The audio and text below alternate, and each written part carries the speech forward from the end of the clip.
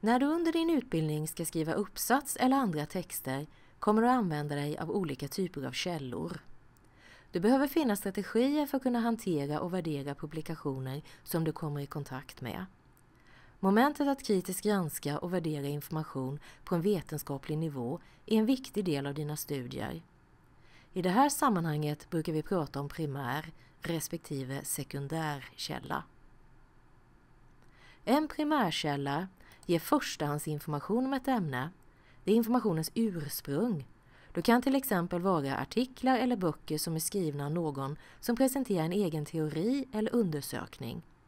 Det kan också vara en föreläsning med en forskare som talar om sina egna forskningsresultat. En sekundärkälla återger vad någon annan källa, det vill säga primärkällan, redan har presenterat.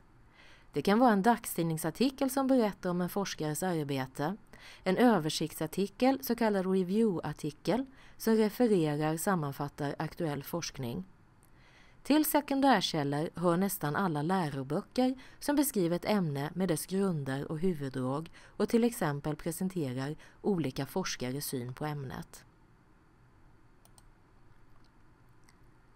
De texter du till stor del kommer använda dig av under dina studier är vetenskapliga eller akademiska baserade på vetenskap.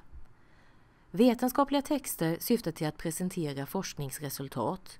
Genom att beskriva hur man arbetat, den teoretiska grund man står på, den metod man valt och vad man kommit fram till sprider man forskningen och skapar underlag för vidare forskning. När du väljer ut material för ditt arbete bör du därför vara medveten om vad som är primärkällor respektive sekundärkällor.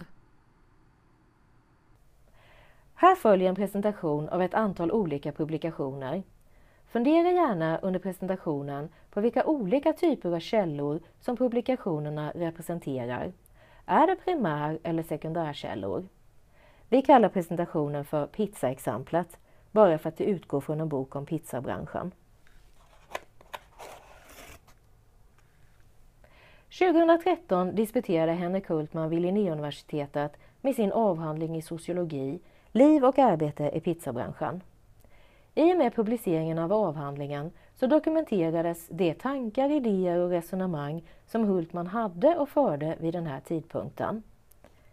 I samband med disputationen gav Linnéuniversitetet ut ett pressmeddelande. Avhandlingen uppmärksammades i ett antal olika rikstäckande dagstidningar. Den uppmärksammades också i diverse olika branschtidskrifter. Och det kom också ett radioinslag med intervju med Hultman. För alla vetenskapliga publikationer gäller att författaren måste kunna hänvisa till de dokument man använder i sitt arbete. Hultman har i sin avhandling citerat andra arbeten och för att ta reda på om någon citerat Hultmans avhandling går jag till Google Scholar och söker på titeln. Här visar det sig att det finns ett antal dokument var skribenter citerat Hultmans avhandling. Här finns tre olika studentarbeten på kandidat respektive magisternivå var skribenter har citerat Hultman. Här finns också en LIS-avhandling och en artikel i en vetenskaplig tidskrift och ytterligare en artikel skriven av en forskare och presenterad vid stiftelsen Entreprenörskapsforum. Här hittar vi också kapitel i olika böcker, i en svensk bok om sociologi och ett kapitel i en engelsk bok om det europeiska välfärdssystemet. När du granskar och värderar material som du vill använda i ditt arbete bör du vara medveten om vad som är primärkällan. Det är inte allt som står i ett vetenskapligt originalarbete som räknas som primärkälla. Det är resultatet som forskaren presenterar som är primärkällan. Bakgrunden i ett vetenskapligt arbete är till exempel baserat på tidigare forskning och blir då med andra ord en sekundärkälla. I vårt så kallade pizzaexempel innebär det att du kan använda Hultman som referens när du refererar till resultatet i hans avhandling, men inte om du vill referera till något som står skrivet i bakgrunden i hans avhandling.